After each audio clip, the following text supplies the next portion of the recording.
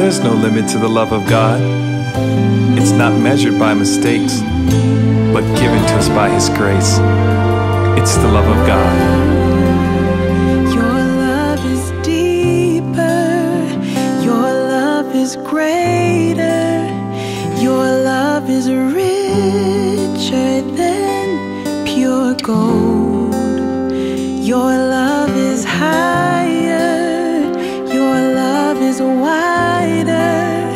Your love consumes my veins.